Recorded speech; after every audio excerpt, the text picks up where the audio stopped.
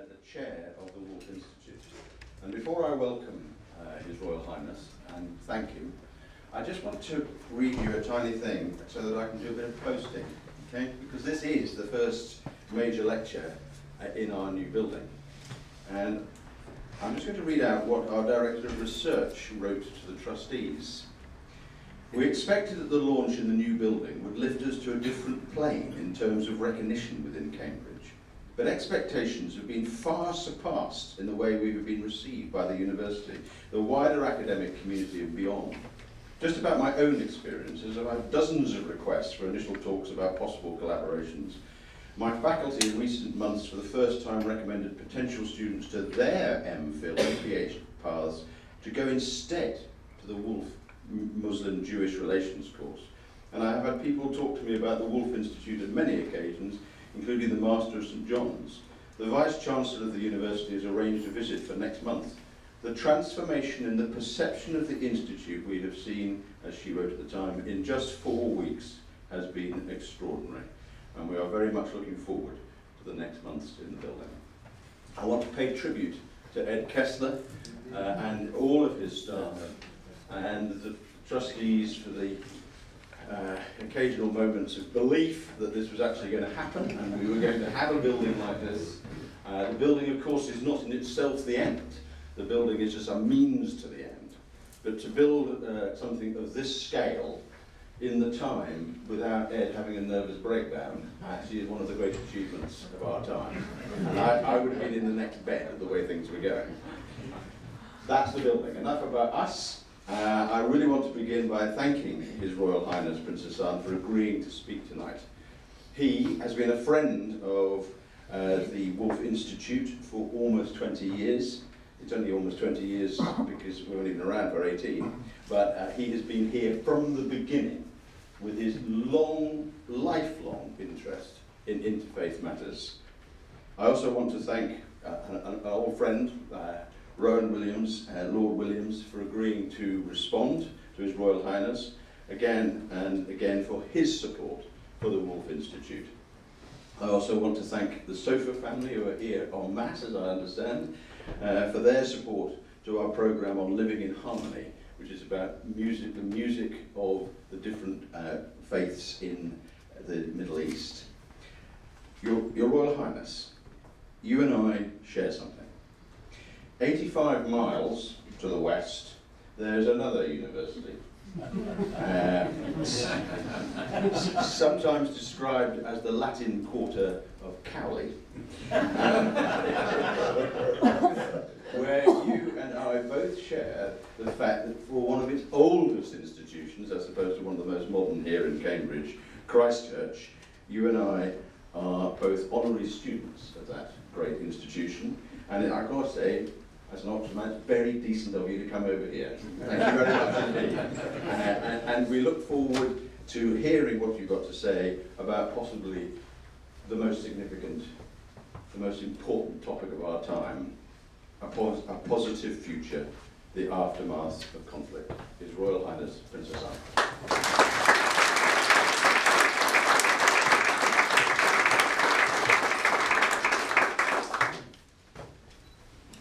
Lord Williams, Lord Blair,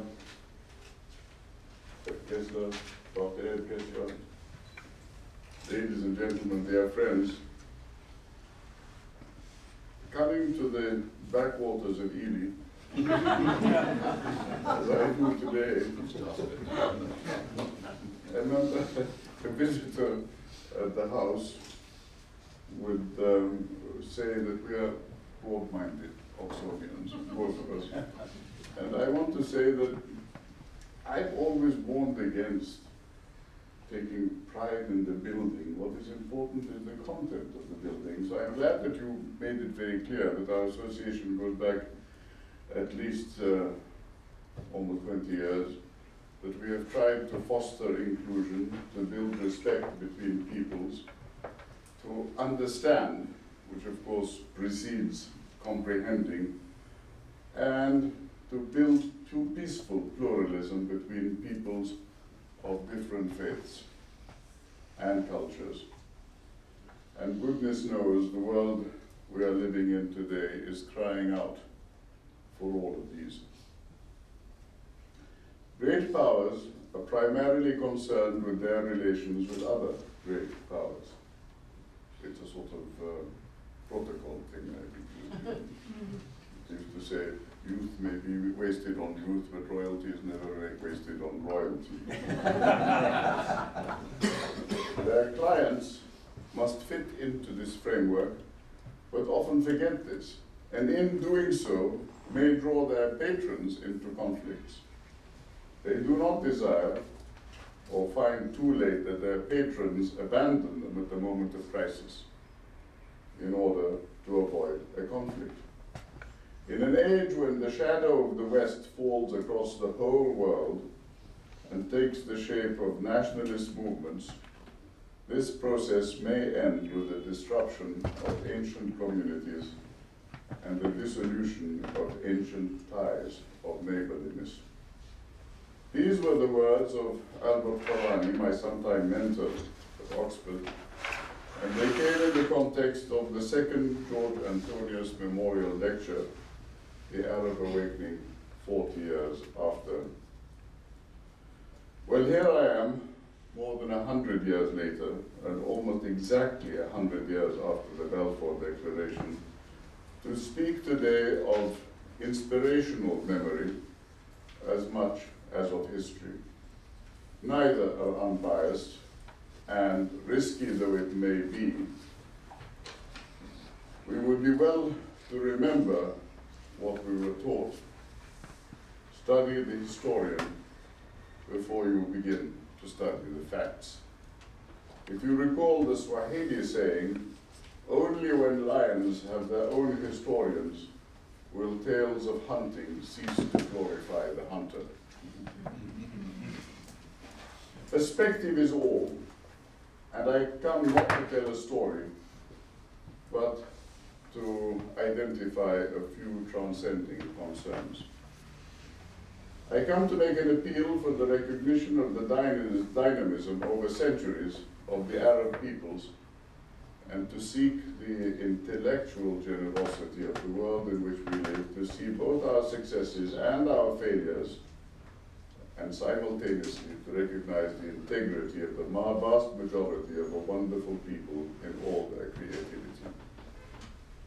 I come also to seek partners, partners in humanity, if you will, as we stand on the edge of a moment of transformational change that will touch the lives of every person in the world.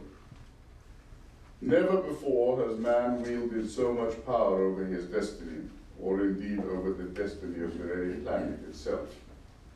Revolutions in technology, demography, health, and economics have transformed our lives.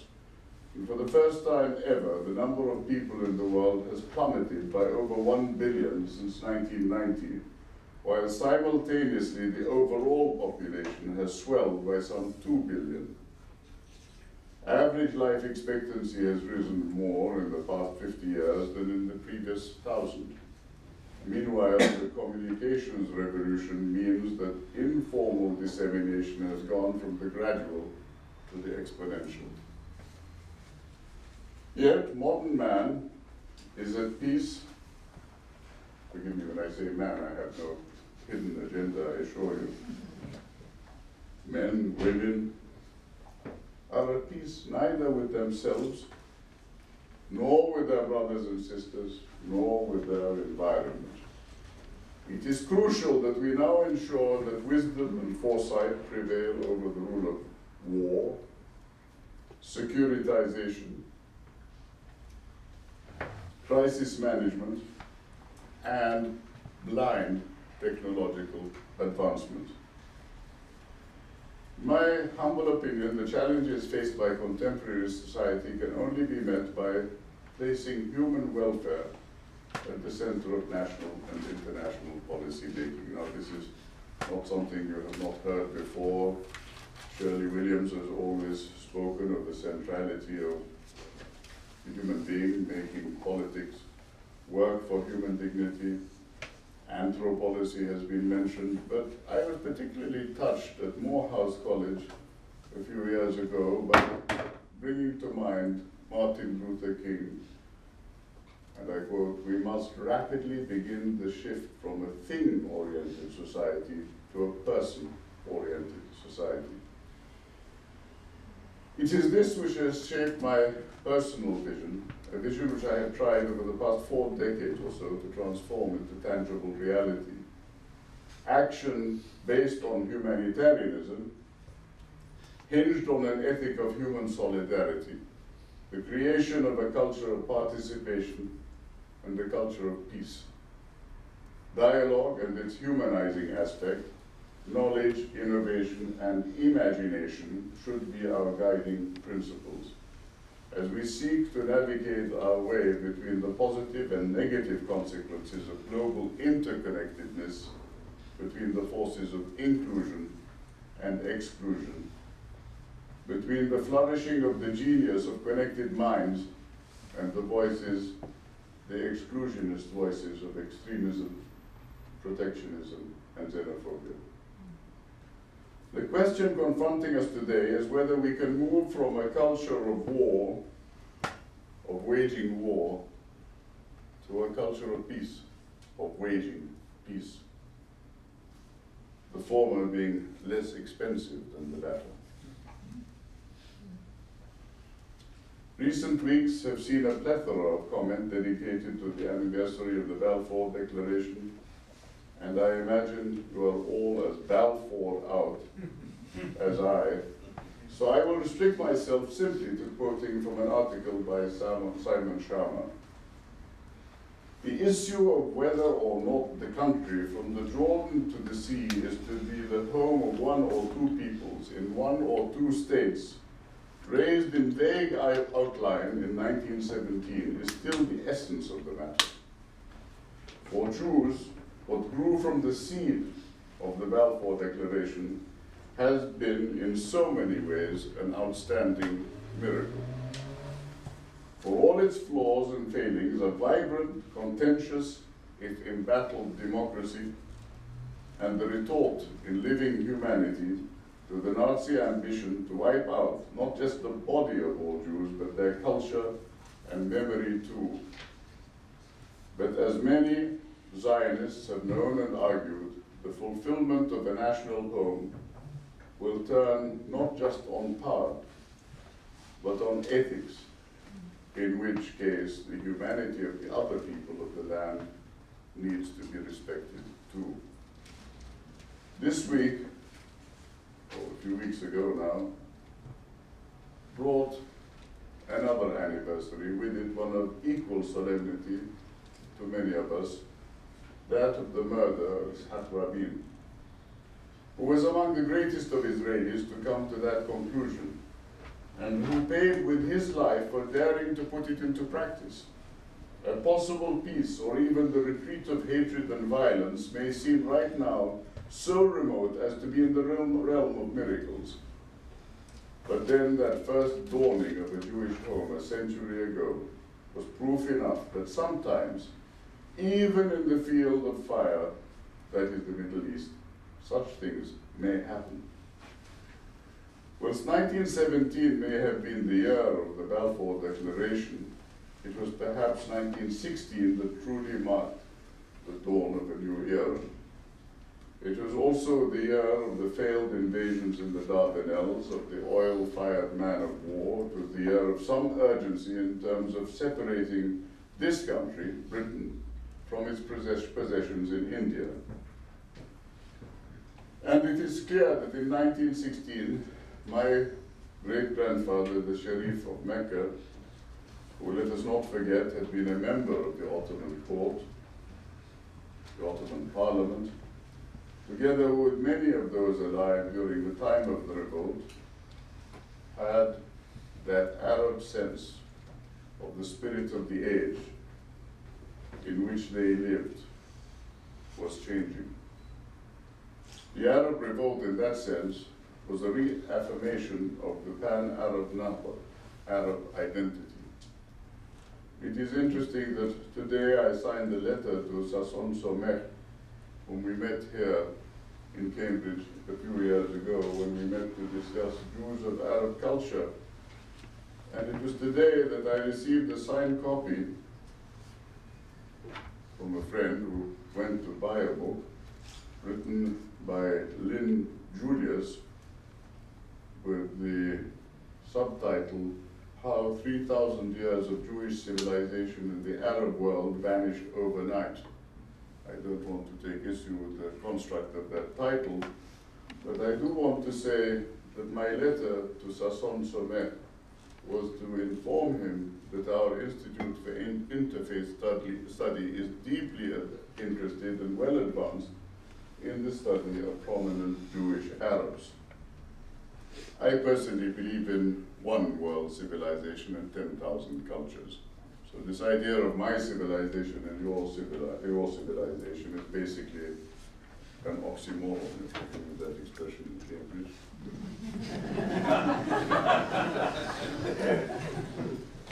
It, doesn't make sense. I'm civilized, and my civilization is better than your civilization, so like school children stuff. But the reaffirmation of the pan-Arab Nahda of the late 19th century was a period of tremendous intellectual effervescence that cut across sectarian lines. And when, when the Ashkenazis, and my host head is an Ashkenazi, started egressing from Odessa after the pogroms, our Jewish Sephardic forebears said to our Palestinian forebears, we're leaving. And our Palestinian forebears said, why? They said, the Jews are coming. Oh yes. Explained, they're not my Jews, said the Jew to the Arab, and the Arab back to the Jew. So I think what is important is to bear in mind that in moments of history, pluralism has been recognized simply in terms of human interaction. For those of you who studied the Genizov Ben Sekaya papers, you recognize that Jews, Arabs, and Christians work together from Sijilmas on the Atlantic coast all the way to Malabar. And when Da Gama arrived and said, expel the Arabs, Jews, Christian, and Muslim, for I will kill you, the answer of the Jain king was, what do you mean by kill? Today, we think in terms of equality and citizenship and say that this has nothing to do with religious identity. I remember with Leopold Sedar Senghor, when we called for an international humanitarian order, he said, humanist. And I said, humanitaire. You know, we English products of an English education, we wogs are not supposed to speak French. and he said, why are you insisting on humanitaire? I said, because humanist in our ears might mean agnostic, atheist, and so, and so forth. So I think that what is important is to emphasize the fact that citizenship is identity. The fact that there are 65 million refugees in the world. The fact that the largest concentration of brand names is in our United region today. Migrants, emigrants, refugees of all sorts. My tiny country hosts 48 nationalities at the present time. Our population has exploded by 87% since the 1990s with these influxes of refugees. The vision, however, was, is, and will be of progress and renaissance. It is interpreted in different manners, whether it's the Arab Spring or before or after. Everyone tries to legitimize by referring to Arab Renaissance. But I think that this wisdom that emerged from under the Ottoman mantle to form independent states missed a beat, because it is through nativism in the context of statehood that we missed the point. Good neighborliness. The importance of defending what we hold dearer than the state, what we now call the holy places. The Ottoman state had decided the best line of defense at the southernmost point of Mosul, so topical today. But what did that mean in terms of the future of Jerusalem, Medina, and Mecca?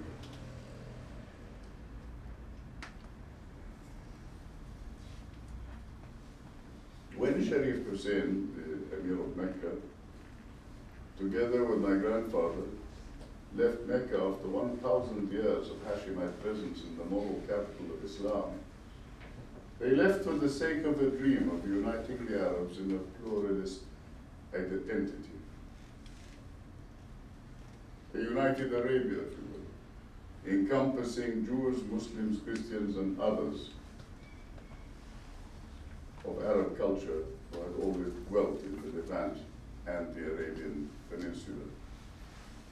Some three years later, in his memorandum to the Peace Conference, Emir Faisal, my great uncle, writes inclusively, the 1st of January 1919, he says, in our opinion, if our independence be conceded and our local competence established, the natural influences of race, language, and interest will soon draw us together into one. But for, for this, the great powers will have to ensure us open frontiers, common railways and telegraphs, and uniform systems of education. To achieve this, they must lay aside the thought of individual profit and of their old jealousies. In a word, we ask you not to force your whole civilization upon us, but to help us to pick out what serves us from your experience in return, we can offer you little but gratitude. I would have added, and stability. But the Jews and Christians of earlier centuries were our Jews, as I have said, and our Christians of Arab culture. They were not, moreover, seeking to fill a vacuum. It was not perhaps surprising, therefore, that as numbers grew and people realized that their British allies had betrayed them, attitudes changed. Even then, however, my grandfather continued to believe that peaceful existence was possible. He paid for it with his life. Chaim Weizmann told the Anglo-American Committee of Inquiry in 1946, the Muslim world has treated the Jews with considerable tolerance. The Ottoman Empire received the Jews with open arms when they were driven out of Spain and Europe and the Jews should never forget that.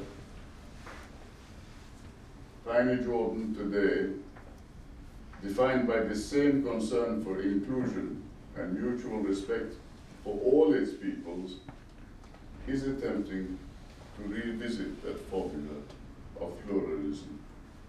The ethics and polit politics of the second Arab Renaissance, and incidentally I recommend to you a book product of Oxford University professors entitled The New Age of Discovery. The concept is appealing, the new Elizabethan age of discovery, if you will. It reminds us of the importance of our working to developing that new golden age. But enough of legacy. Back to the future, if you will. What if scenarios? Today we are facing an era of rising populism, nationalism or nativism, if you want another word, for it. In the words of Peter Sutherland, he says, you cannot continue with this equation of nationals on Venus and migrants on Mars. of retrenchment,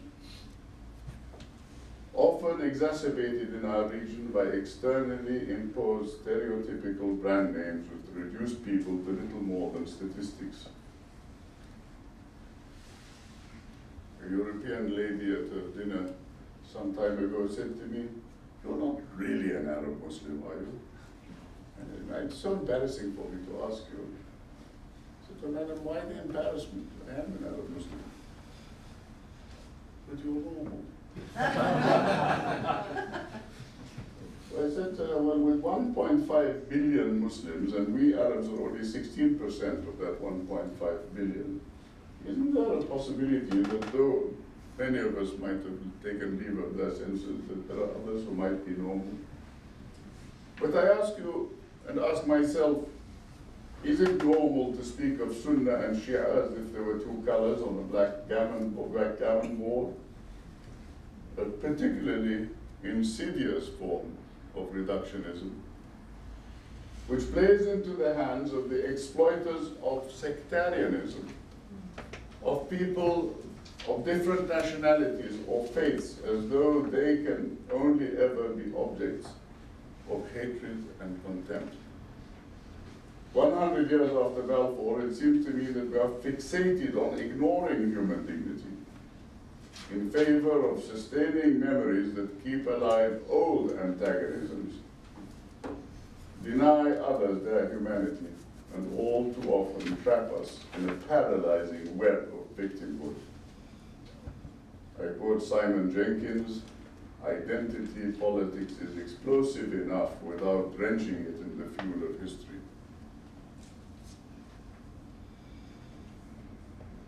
Isaiah Berlin put it eloquently. I had the privilege of knowing him in Oxford days or meeting him. He spoke of positive and negative liberty. How much of one or the other have we enjoyed? 1916 to 2016, 1917 to 2017, 1918 to 2018. Is it possible to consider an end to the madness and a new beginning? I believe it is. It is a question of will, a question of character, and I believe to make a brief reference to the Arab political ferment of recent years, as I did earlier, we are not running against our times. Jordan, like Egypt, has a peace treaty with Israel. The cornerstone of that treaty was that it would be completed by the inclusion of the Palestinians, not on the soil of Jordan, but on its pre-1967 territories. Saudi Arabia and now Egypt have taken a prominent lead with the Arab Peace Initiative. However, I came here to speak of policies, not of politics. I don't think out of the box, I don't have a box. So I would like to emphasize that the interests of Jordanians in supporting Palestinian re reconciliation are fundamental to building stability in the West Bank, Gaza, and Jerusalem. I am saddened that certain consulting houses refer to the population of the West Bank as 2 million. 2 million nothing. Not even 2 million Palestinians or Arabs. Jordan, 2.8 million. Not Jordanians, not Palestinians, though they have been nationals of that country since they came in 1948. Maybe this is correct, political correctness, of course. But I would add that partial annexation, amongst other possibilities, will exacerbate the status of Palestinians and Palestine as it has already done. Involving Jordan in any hope of achieving the internationally recognized solution of Palestinian state on Palestinian soil is necessary and urgent. Yet there is a gulf between the aftermath of conflict and the achievement of a warm peace. I'm reminded of the constitution of UNESCO, which states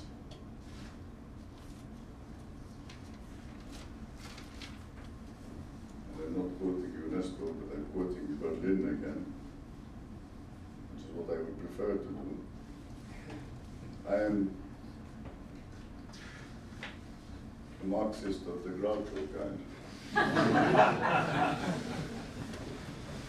this sounds like Groucho Marx as well as Isaiah Berlin. He says, free to choose, not to be chosen for.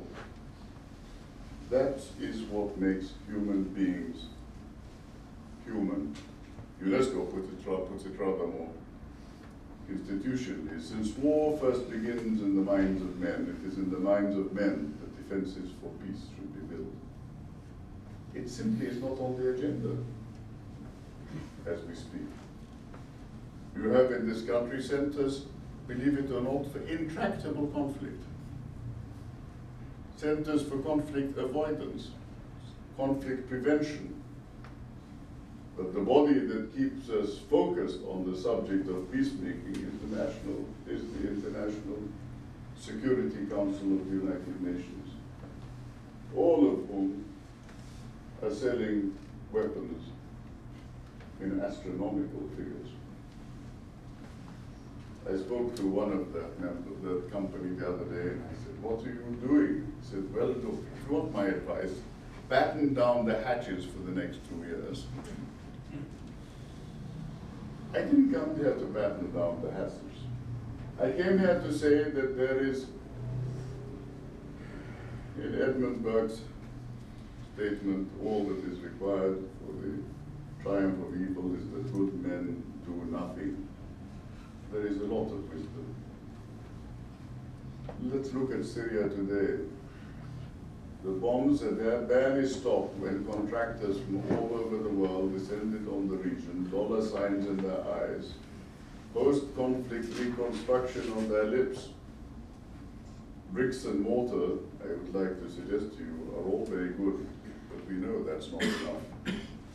Unless physical rebuilding and economic recovery political reforms and societal reconciliation proceed in tandem, there is a risk that reconstruction becomes little more than a tool to consolidate war gains and existing power dynamics, preventing or complicating rather than supporting a war to peace transition.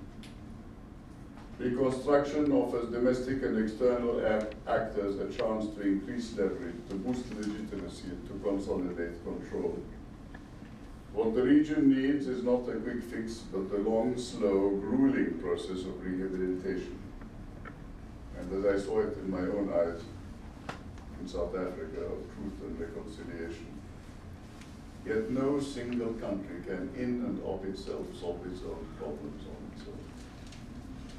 So I would put it to you that the Levant, comprising initially Jordan, Palestine, Lebanon, Syria, and Iraq, and with the potential to extend later to include Israel, Turkey, and Iran, is moving us from binary pathologies to a regional construct where we can all work on creative commons. In the absence of a regional framework for responding to shared challenges these issues have aggravated chronic development problems.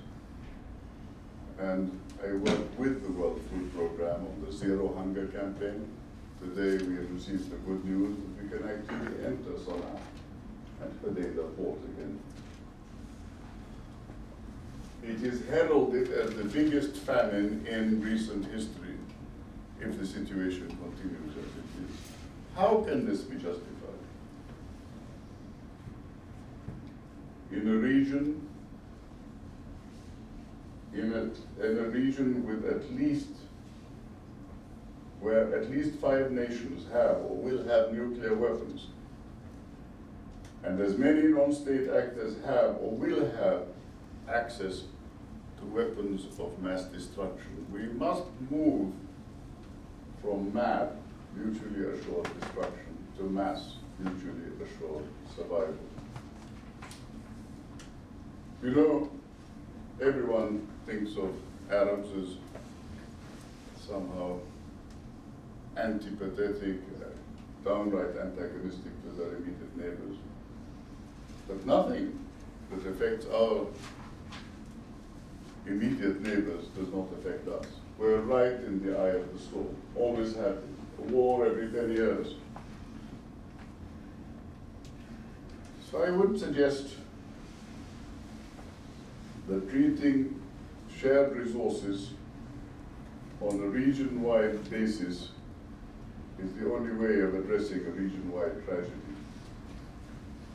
I look at the Benelux, European coal and steel, and say to myself, why not Levant, water and energy? I like the word intra-independence, not interdependence necessarily, comes from your table. But intra-independence, where I respect your identity and at least expect the same in return. And where we work together on regional themes, such as life-giving water. We have a combination of oil and human resources there is no reason why we cannot restructure the region, starting with the Levant itself to empower stable states, including possibly a stable Palestine to live in economic and political proximity to Israel. If Israel truly wishes to be part of the reason, region, I think that embracing, as we should all do, a solution without which we will all eventually be engulfed in a sea of hatred is the only hope that we can hold out to our great grandchildren. To really change anything, we have to transcend the noise of politics. That may be controversial, but it is essential.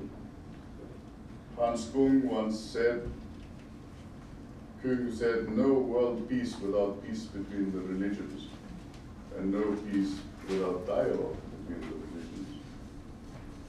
We have come a long way, but I believe the concept of centrism, centrism wasatiyya, is important. If I'm radical in anything, I'm radical in moderation. And that's a very difficult position to sustain. Years ago, I was speaking at an English venue about the merits at that time, in the 1990s, of the Jordan-Israel peace treaty. And I had a bevy of hecklers who turned out to be Taliban. And they said, you will burn in hellfire on the day of judgment with your friend, Ishaq Rabin. I said, I thank you all for the vote of confidence, but I thought that the day of judgment was about all of us, not just about me and Ishaq Rabin. anyway, enough of that. I would like to conclude by suggesting that the Levant epitomizes this diversity with four prominent pillars. As I said, Persians, the Turks, the Kurds, and the Arabs. The culture of Arabia embraced Jews and Christians and was enriched by them and is clearly a nexus where diversity becomes an essential ingredient in creative breakthroughs. After all, those breakthroughs have included Copernicus' revolutionary map of the heavens and have moved in the modern era to the Human Genomes Project map of our genome. I want to ask, is it possible that we can dream together, imagine together, by combating evil and aggression and man's inhumanity to man and his environment, if we can imagine a call for reconciliation and peace in the Holy Land of the Levant. I would like to suggest to you that a founding meeting or series of meetings, because I believe that ideas are more important than money. To get it right, your ideas, then maybe support will follow. But is it possible to consider a series of meetings to appoint a committee of wise heads in the fields of water resources, demographic forecast, joint education programs, those regional commons and transboundary issues to which I have referred, to draw up a viable policy statement for economic and cultural development for an associated Palestinian, Jordanian, Israeli zone of peace. I used the expression Benelux in the past, and I learned it from Abba Eban many years ago.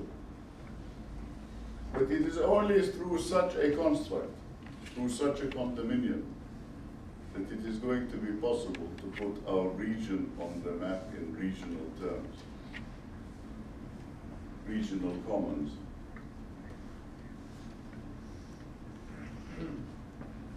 This in time could be a blueprint for a future federalism of the Fertile Crescent or Council of the Levant, which would include self-governing regions with their own cultural attributes and specificities.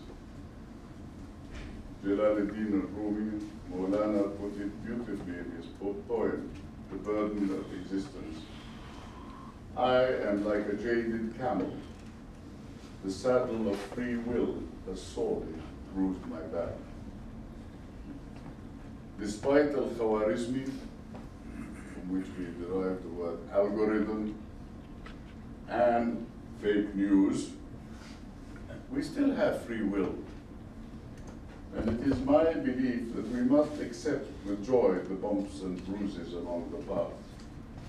To continue to strive for a better world for all people, wherever they may be, for the sake of humanity. We need to provide the benighted peoples of our region with the basis for memories of the future. Hope is serious stuff, ladies and gentlemen. People's lives depend on it. And as Abe Lincoln warned, if we falter and lose our freedoms, it will be because we destroyed ourselves. Thank you.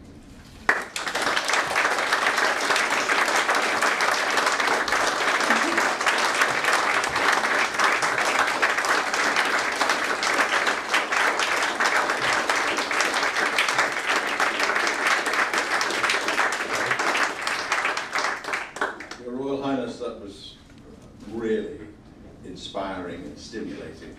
There is a Chinese proverb, apparently, which says, those that say that something can never be done should not be allowed to interrupt those who are already doing it. and I, I think what you, what you are proposing there is something that a human beings across the world could really relate to, is that sense that after catastrophe it's possible to build again from within. And to that end, I'm going to invite Lord Williams to respond.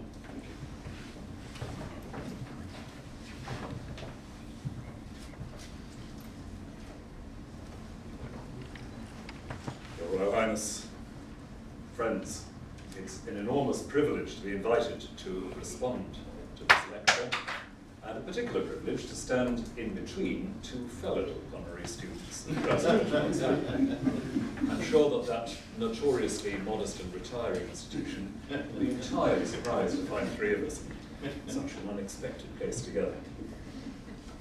But for many years, I've had the privilege, Highness, of meeting you, hearing you in various contexts, and in every such occasion, being reminded of moral, spiritual, and political priorities in the region from which you come, in such a way as to refresh both intelligence and hope.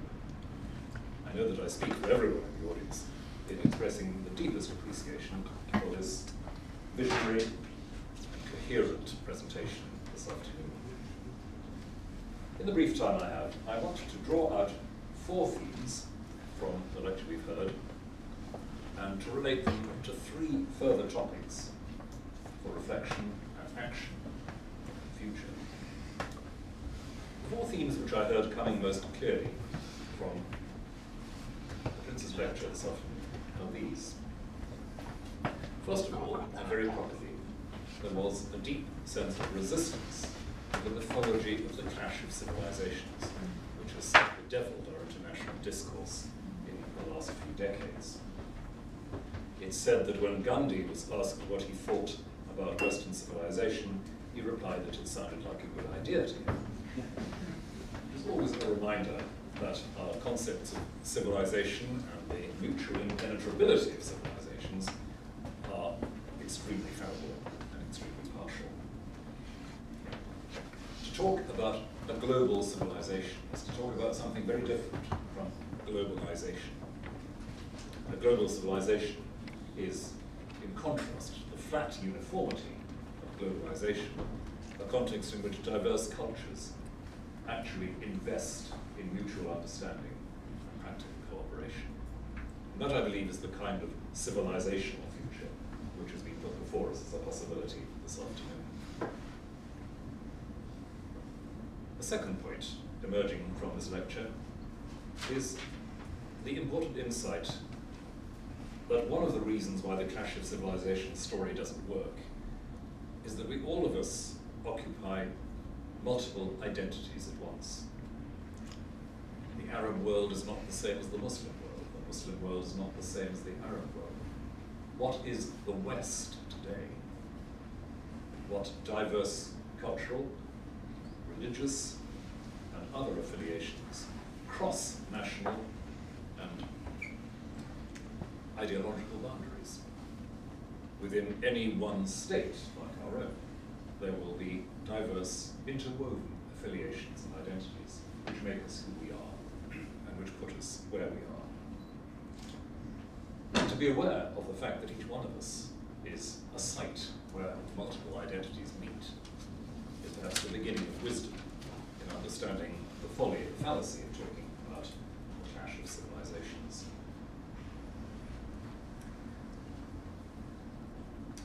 A further point coming out from this and relating to what I've said so far is the absolutely crucial vision in this lecture of shared security. My neighbour's security is my own. That ought to be so obvious as not to need saying. But it isn't.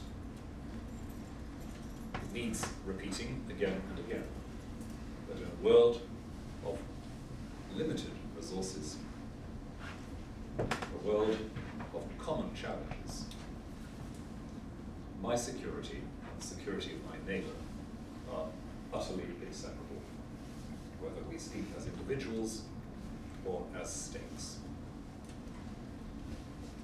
I've sometimes said in recent years one of the things we most need to learn is that crises don't need maps.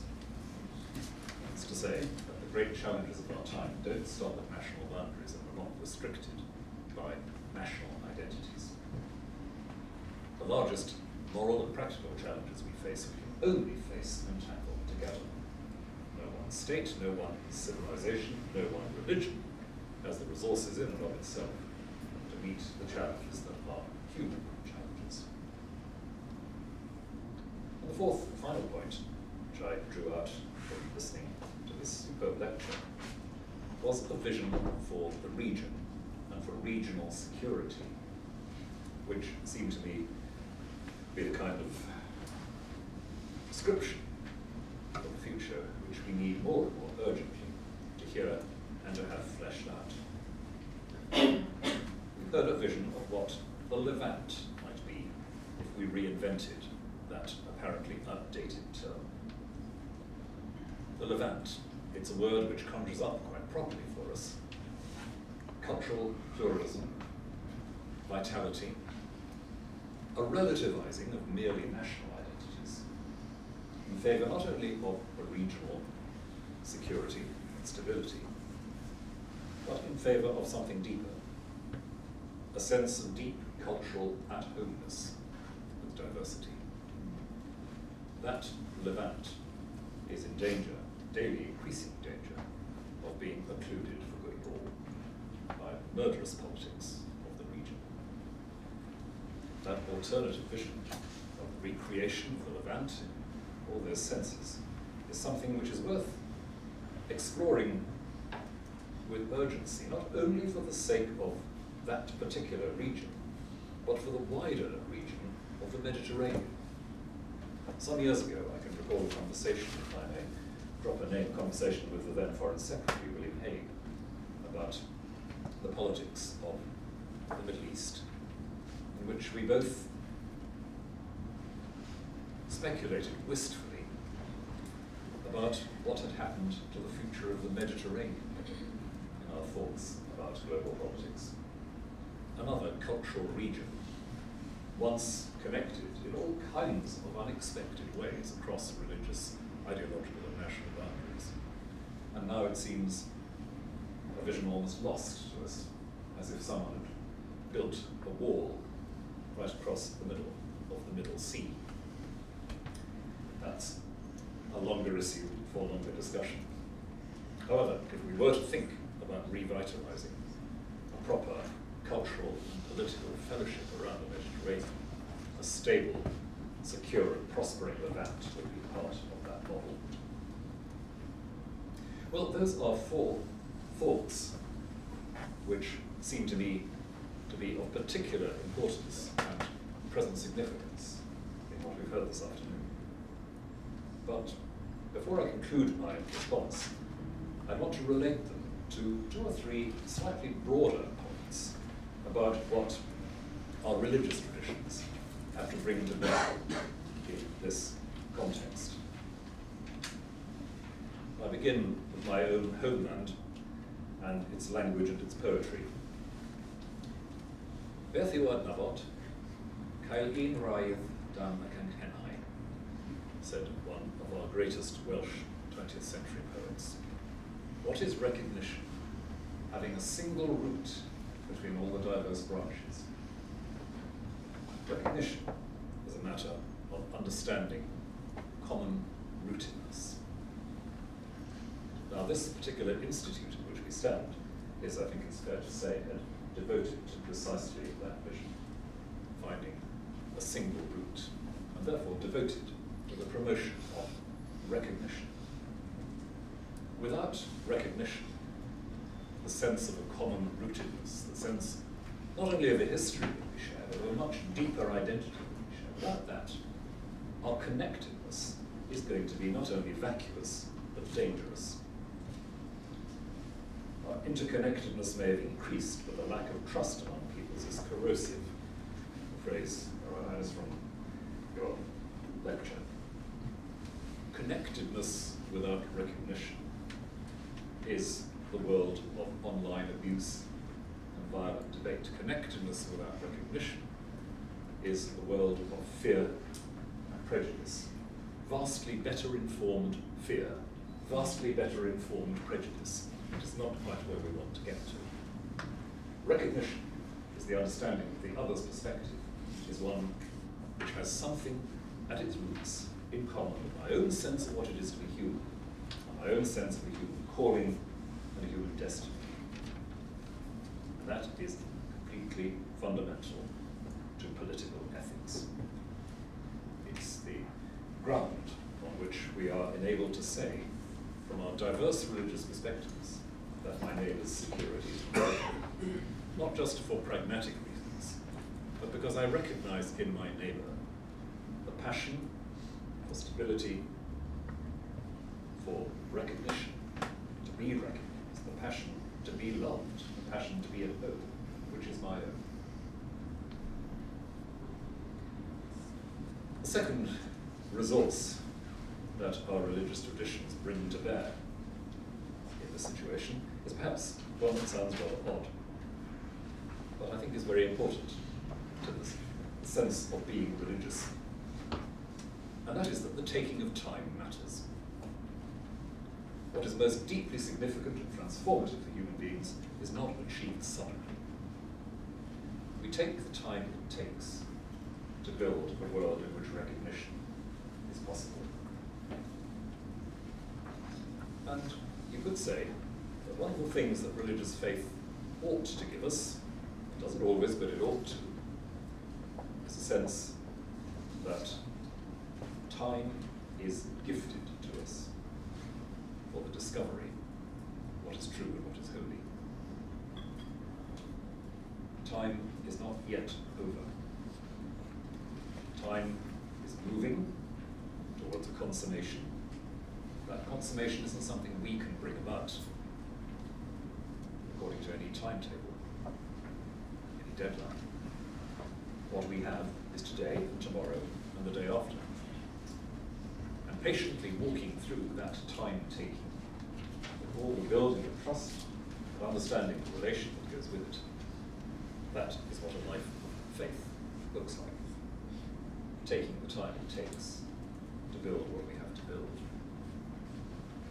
So the trust which was identified as lacking in our peoples, the trustlessness which currently afflicts so much of our global politics and our national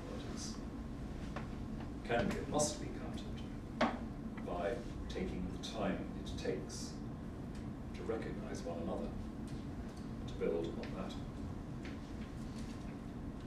And in that taking of time comes the third dimension of what religious commitment offers in this context. And that is the sense of grateful receptivity. I am not the maker of myself. I receive myself from the hand of the Creator.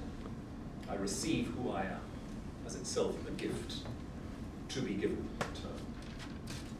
And I am made to be myself by what I am given through the other. The religious world, the world in which human beings acknowledge themselves to be in the hand of a creator, is a world where each person is uniquely a gift, given so that the neighbour may become more deeply and fully the person themselves. And that great circulation of life and gift in the world is how creation works. Not a remote event in the distant past, but the ongoing process of the giving of God through human relation. So receptivity, grateful receptivity, becomes the core of our human enterprise. We learn to look at the stranger not as a threat, but as a promise. We learn precisely to live with our multiple identities in a way that is graceful and grateful. We learn how and why it is that the neighbour's security is mine, because the neighbour's security is the gift to me as my security is the gift to the neighbour. We've been given an extraordinary vision this evening in what we've heard from our distinguished speaker. A vision rooted very deeply in the personal experience of promoting dialogue, which goes back many decades, but rooted also in the distinctive experience of a country which, in its region, remains still for many people one of the few open spaces for encounter, for growth together. Of the few spaces not dominated completely by political or ethnic or religious panic. It's one of the things I love about your country, Your Royal Highness, and I think I'm not the only one, that it has retained this cultural colouring under the immense, the unimaginable pressures of refugee influx of the last few decades is something of a miracle. And I suspect that I'm not the only person in this room who will want to say that our thoughts and our prayers are with Jordan and its people on a very regular basis this time when more than ever it carries the burdens that many of us have helped to create in the wider world. But out of that has come a very distinctive, very powerful gift to us this afternoon. That generous, but pragmatic, realistic, deeply faith imbued perspective, which, if we are able to learn from it, will be something which can make the Levant, for all the appalling challenges and sufferings it now faces, a sign of human possibility for the rest of us. That cradle in which so many transforming human possibilities have come to light in the histories of the great faiths. Those possibilities kindle again as this vision threads gains traction.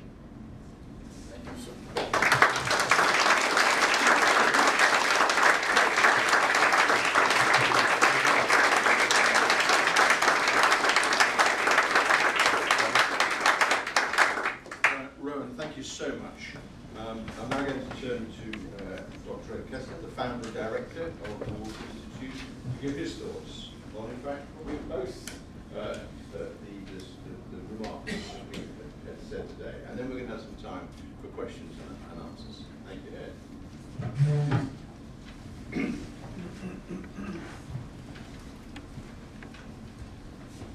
Thank you, Ian. It's always very dangerous to follow two wonderful speakers. But I wanted to do so because both His Royal Highness and Lord Williams have been absolutely fabulous supporters of this institute and have encouraged me personally. And I want to begin by telling you a story about three people who meet every afternoon in London because it epitomizes both Rowan and His Royal. And they've become friends over many years and they look around them and they see that the world is a mess. Brexit, the budget, the economy, it's all doom and gloom. And they decide they're three pessimists. And one day, one of them turns around to the other two and says, you know what, I've converted. I've become an optimist. And the friends say, how can you be an optimist? There are so many terrible things going on in this world. He said, well, we're old friends, you have to accept me for who I am, I'm now an optimist. And so they do. And a few minutes later, the two of them turn around and look at this newly converted optimist, and he looks a bit worried, with a few wrinkles and a few frowns. And they say to him, why do you look, why do you look so worried? And he said, you think it's easy to be an optimist. and that, it seems to me, is where we are. Because you ended your speech, Your Royal Highness, with this wonderful expression of memories for the future. And like Rowan before me, I'd like to identify three features from your talk, beginning with what we might call Memoria Futuri, which Rowan might remember, Walter Kasper, when we sat down together, talked about this. That is a memory for the future, because it is one way to disarm the kind of obsession with the past that so many of us have. To avoid becoming victims of a kind of ideological vindication of that past that is nostalgic, that is dogmatic, and often irrational.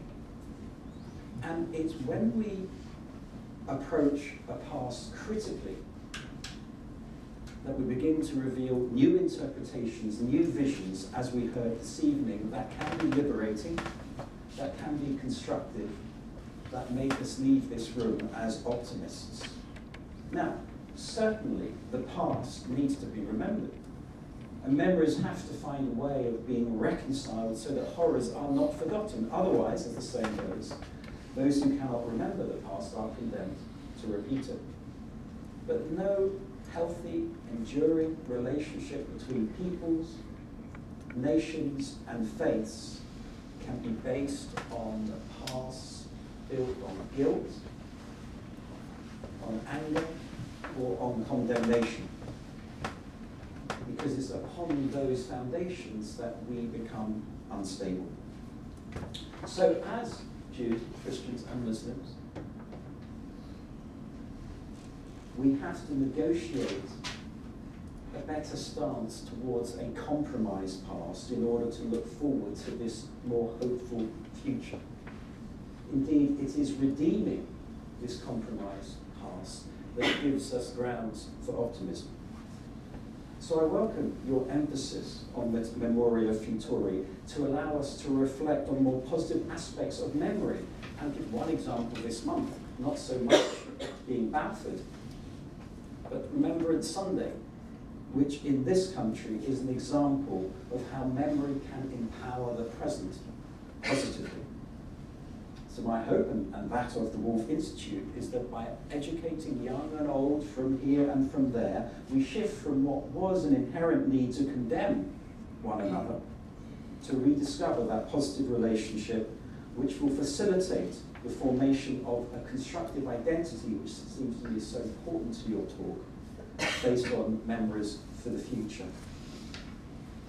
The second feature of your talk is something that's absolutely central to our future, and to living peaceably together.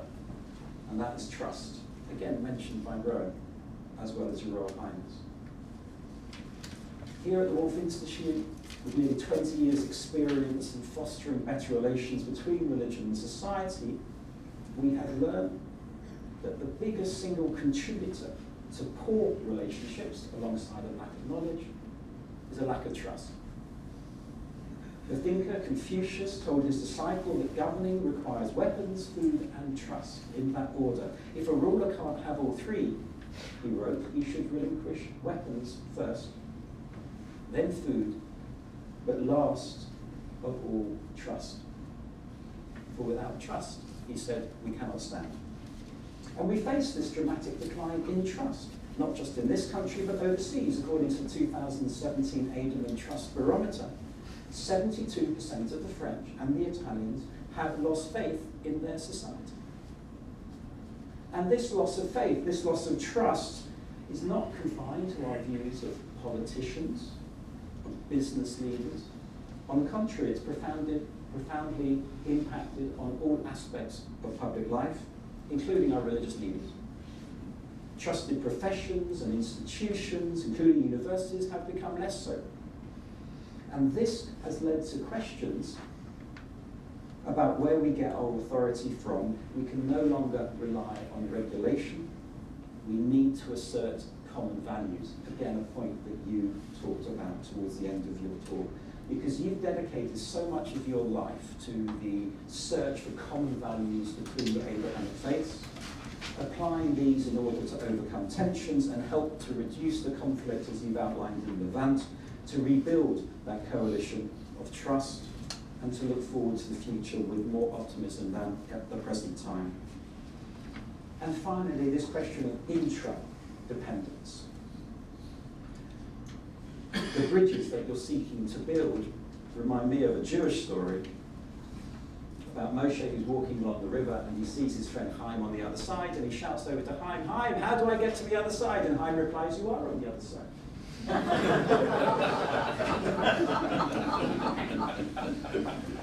So realizing that we are all on the other side makes us appreciate that our relationships are so multifaceted in a way that facts are not. I either am or am not mainly black-haired, short-sighted and bespectacled, but I am simultaneously a child of my parents, the father of my children, the husband of my wife colleagues, friends, neighbours, and co religionists. And each of these relationships is, in a way, covenantal. Each has its own requirements. And these requirements, these obligations, sometimes conflict. Should I accept a speaking obligation? Or should I be at home with my family? I'm torn between my responsibilities as a leader in interfaith dialogue and my duties as father and husband. But there's no principal incompatibility between these different obligations. And that, it seems to me, is what you're getting at. And what Lord Williams was saying about faith. Because there is a difference between thinking that if my faith is true and conflicts with yours, then yours is wrong. Faith actually means that I and my fellow human beings have a relationship with God that does not entail that you do not. I have my stories, my rituals, my customs, my memories, my prayers, and of course, you have yours. And that's what makes me me and you you. The truth of one does not entail the falsity of the other. That's the point I'm making. Indeed, the very words true and false seem out of place in this conversation. So, whilst the scientific question, if you like, is what can I know about the world, the religious question and the question for those of us engaged in the interreligious conversation is how should I act and how should I expect others to act if we are to achieve together what none of us can do alone? Again, it brings it back to this point. It's not possible for one country or one state to resolve its own problems. Because if I'm convinced that I possess the truth, while you are sunk in error, I may try to convert you, I may expel you, but what I do think is that I'm right, you're wrong, go to hell. And yet, and this is the essential point, All relationships between us or between humanity and the divine are covenantal because God may not only be with us, God is with others and with the stranger as well. Now, let me end by saying that if all of this is difficult, which it is, it can be said in a very simple way. My wife Tricia and I have three children. We love them equally and unconditionally, and they are very, very different from one another. Different strengths, different skills, different interests, temperaments, and emotional needs. And if we favoured one over and against the others, we would have failed as parents. Still more would we have failed if we loved our firstborn and then withdrew that affection on the birth of our subsequent children, transferring it each time to the youngest, and such behaviour would have damaged them all creating rivalries, insecurities, and a sense of rejection. And of course, is that if that is true of humans, how much more is it true of the Almighty? I can perfectly well understand that Ptolemy, Copernicus, and Newton, even Einstein, may be incorrect. But that assumes God is like a science rather than God is like a parent. So for myself, as a Jew, can I really believe that having set his love on and made a covenant with the children of Israel, he would have rejected them when they continued to honour that covenant, choosing not to follow the new faith, Christianity? Can I believe as a Jew that the God of love and loving Christians thereby abandoned Jews? Can I make sense of the idea that six centuries after the birth of Christianity and 26 after the journey of Abraham, God reveals the prophet Muhammad? That Jews and Christians had been mistaken all along, and that their religious destiny was other than they had believed it to be? By no means. And that is why our relationships are covenantal and not scientific fact. And as Jews, Christians, and Muslims, we remember that God is a parent. And like it or not, we are dependent upon one another. And it seems to me those three features of trust, to optimism, the intra-dependence, uh, are the lessons I take away from your talk this evening, Your. Thank you.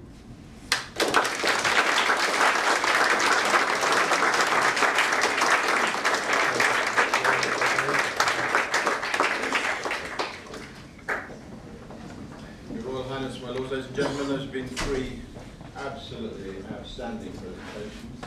Um, optimism and pessimism. Optimist is the person who believes it's the best of all worlds. Pessimist thinks he might be right. So um, I, I know that uh, there is uh, there are, there are some uh, canapes and drinks outside or somewhere around, and um, I'm not going to keep you very long, but I'm sure, uh, as I understand it, Royal Highness and, and, and my other two guests um, can will answer some questions. There's a roving mic. Keep the questions as short as you can if you haven't got that much time. Right. I, I have uh, rival claims. Rival claims. Okay. But I am not feeling insecure. okay. Thank you, Rowan. Thank you very much indeed.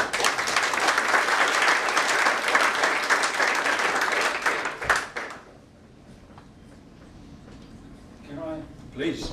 um, Graham White, can I come not from your world, but the world of Mammon in EC3? Um, uh, Dr. Kessler, you particularly talked about trust, and during those words, you talked about regulation. Uh, and it's not a question, it's merely a comment that I regret that our world of EC3 is being strangled by regulation, which is actually an attempt, but a completely pointless attempt, to recreate trust, because it quite simply doesn't. What is broken down in commercial relationships is the notion that you look at somebody and you can trust him, and frankly, if you don't, you shouldn't be dealing with them. And it is that we need to relearn trust, certainly in our world.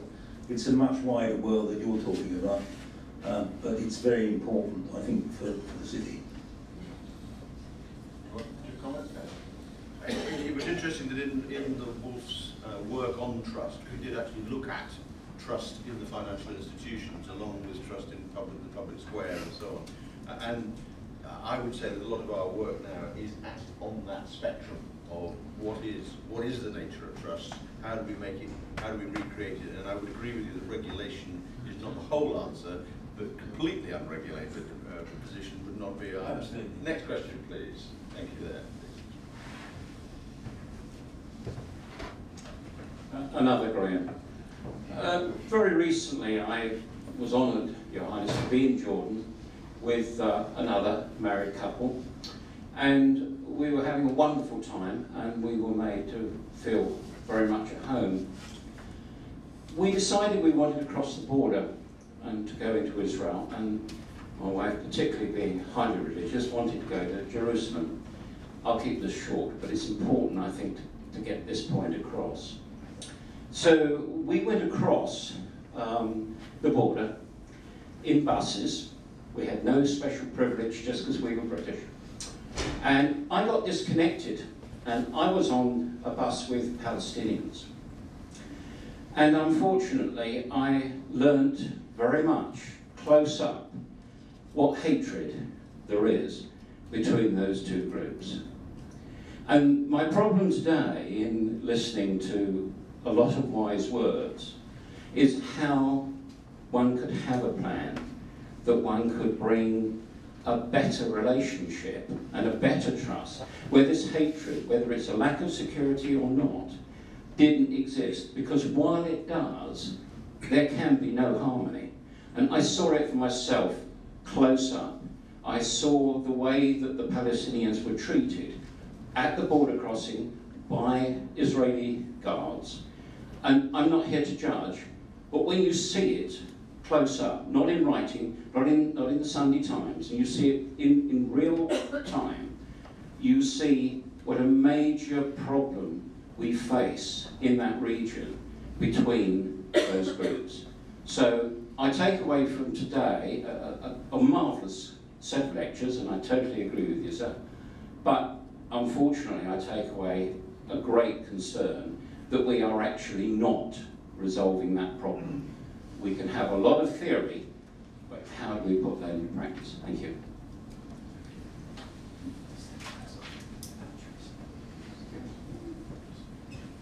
May I comment? I, I, I would just like to uh, say that when the peace treaty was signed in front of me with my late brother King Hussein and uh, uh, uh, Prime Minister Rabin uh, seated at the ceremony, the Israeli uh, press asked me, what do you think? And I said, well, this is a piece of talking heads. It's not a war piece unless and until people express their desire to make it so. And of course, the demise of uh, uh, Rabin, his assassination uh, two years later, and uh, the incapacitation of my brother through illness, and then his uh, loss to me as a brother, mentor, friend, uh, meant that the, the spirit of the peace treaty, unfortunately, um, ceded to another form of confrontationalism. And I don't want to comment on the politics today either, but I, I do want to say that there is very little being done in all of our countries. I mean, that just, if it's humanly possible, freeze the conversation that we're having about everything that we've said, which is justified and understood. You cannot change that until a deliberate attempt is uh, initiated by the governments concerned and by civil society to develop what I call a good bedside manner. You know, uh, the- in, in the last few years, I don't want to, to score points, we've had killings on the border which have not been taken to court. There, there are any number of issues that have to be uh, thrown into all of this, but I, I honestly feel that this business of, um, and let me put it this way, I've plagued everybody with talk of the 48 phone centers run by UNGOs in Jordan for WFP and for HCR, dealing with 48 nationalities, people we've never met before, coming from West Africa or whatever. I mean, migrants or West Africa, even that far. And you see the conversation going on with these uh, youth leaders who are projects of Edinburgh Award, for example, or Operation Raleigh in this country, and you see the computer uh, defining how they're talking about promoting life skills, how they're talking about defining ambition, etc., of these young people, men and women. And gradually you feel the question of trust is being addressed in the context of conversation. We don't have anything like that, either with Israel or within our own country. Unfortunately, Hebrew television broadcasting was stopped before the signing of the peace treaty. I mean, that is one of the most bizarre things that I've ever come across. I mean, i- i- if, you know, eh, even if you're an, eh, eh, an, an enemy, you want to know your enemy, I would have thought. But this, um, uh, you know, barbaric uh, commitment to breaking all bridges and all links and all ties is something that seems to um, uh, actually we're hothousing the kind of hatred that we, we claim to fear. Simply because we say the security relationship is getting on, uh, so why should we bother about, as I said, good bedside manner and so forth. But this moral authority has to come both from leadership, which has to change its, its tune, and from uh, the people themselves who recognize what you're saying. And I, I'm sorry we were exposed to that in a sense, but I'm also, um, you know, I would say maybe it is good that you should see things in, in, in sharp relief. I, I think it's also important when we talk about trust, we also stay alive to hope. I mean, if it is now uh, almost 20 years since the uh, since the Good Friday Agreement, and that that brought together people whose histories of hatred were so long and so deep, and you know, touching if there was any real. Um, it, the the idea that uh, that those hatreds can be brought away halt, and then it's still there 20 years later, is the triumph of the human spirit.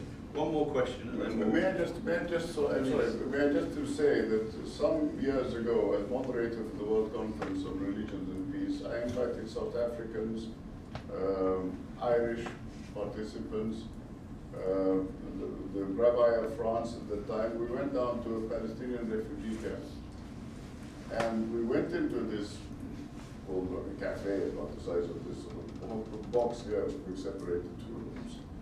And um, they were, the young people were saying, what are you? Oh, I'm South African. Well, um, are you, um, uh, uh, we always we recognize that you've had differences and so forth. How can you get on with that one? I mean, looking at the pigmentation of your skin because we have uh, people from all different backgrounds. What do you, I'm English. Oh, we hate the English because you, for what you did to us. What are you? Oh, I'm Irish. Oh, we like you because we recognize what, the, Mo Mowlam actually was participating in this conversation. what are you? I'm uh, the, uh, Jewish. Oh, you know what we do to you if the prince wasn't here. And then we went into the class and the rabbi was talking in French and I was translating into Arabic and it went round the world. And they didn't know the rabbi, well, they were 10 year olds. I said, come back in five years' time, they will be imbued with all sorts of uh, stereotypical ideas and what have you. But uh, within 15 minutes, these people were talking to each other in a, in in a civilized manner because the people who came, the practitioners, had been there in their respective societies. And that's what I find fascinating. I mean, when I visited INCORE in Belfast, for example, that, that's what I think we have to build with or work with somehow. One last question, please. There, thank you. There's the. Thank you. Francis, um, you talked about recognition, and I think it would help, or do you think it would help, if we recognised Palestine as a state, and that would make, in that area, things happen? See, question. I mean, basically the answer is yes.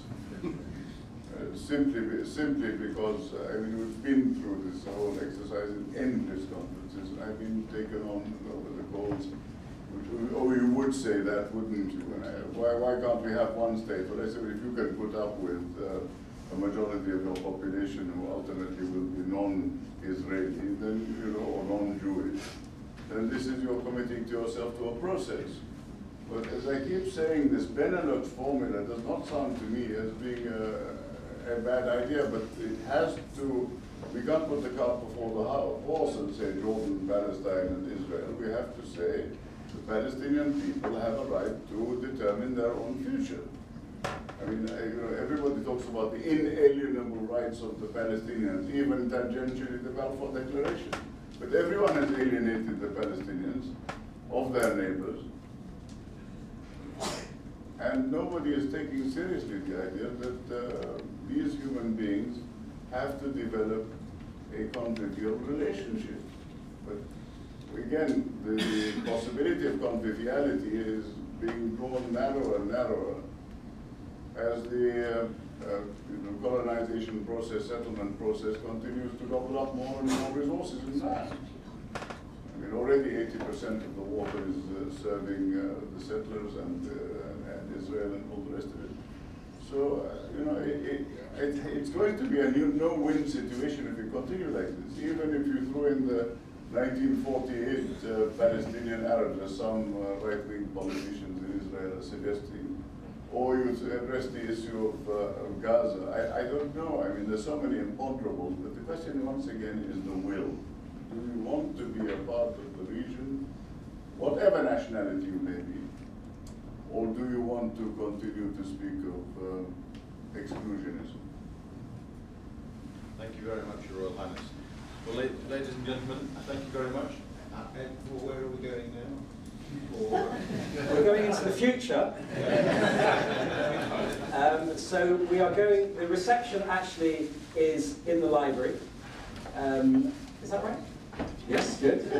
Um, so, uh, yes, uh, back to you, Chair. In that case, can I just say to all of you, thank you for coming. May, may I please ask you to read one paragraph?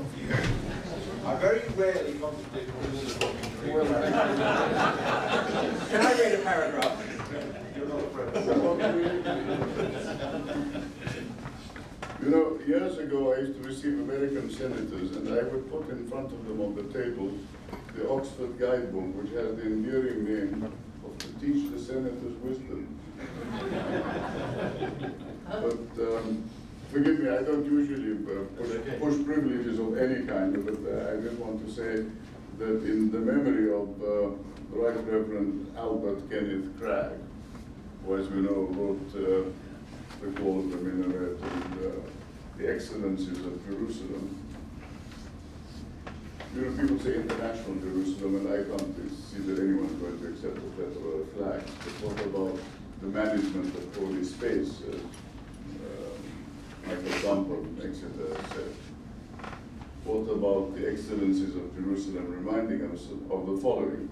In this common human privilege,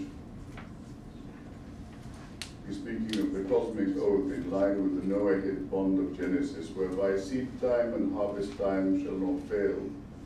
The dependability of nature for humankind under God, as entrusted with that khilafa, meaning stewardship over it, which is the gist of all husbandry, agriculture, technology, art, sciences, and so economies and societies and their histories, their laws and identities.